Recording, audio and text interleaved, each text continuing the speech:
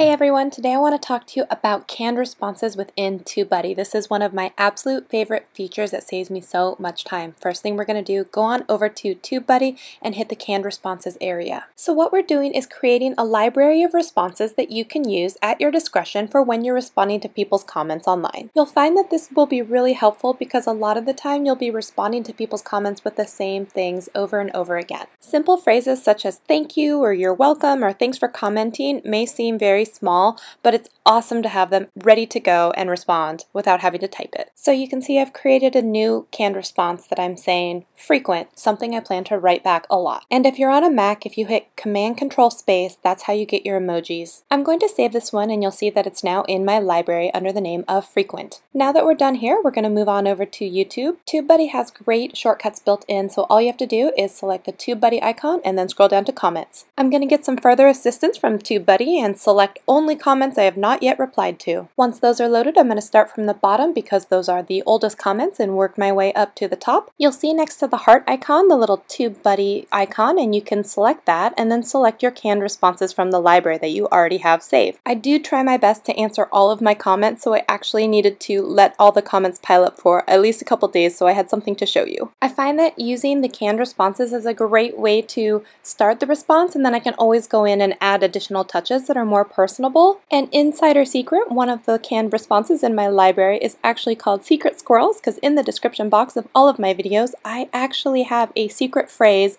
of the video that if you put it in there, I will respond to you with our secret squirrel handshake, and so I like to put that in there. Another way that you can save time, you'll see at the beginning I started by actually mousing over to the send button, but later on you can actually just hit tab, tab, and enter, and that will go to post your reply as well and save you some more time. I do have it as a personal mission to try and respond back to 100% of all of my comments and I could not do that without TubeBuddy and the canned responses saving me so much time. This allows me to get through more responses in less amount of time and therefore get to 100% of all my comments. I strongly believe that by responding to all of your comments, especially when you're a new creator or a small creator, it is one of the things that you can do that will help grow and strengthen your community. So for me personally, I strongly believe that if someone takes the time out of their day to not only watch your video, but to leave a comment, that you really should respond. I also have canned responses for if someone requests a sub for sub, which I don't do, but I will say, hey, I'll check out your channel. So that is one that is used a lot.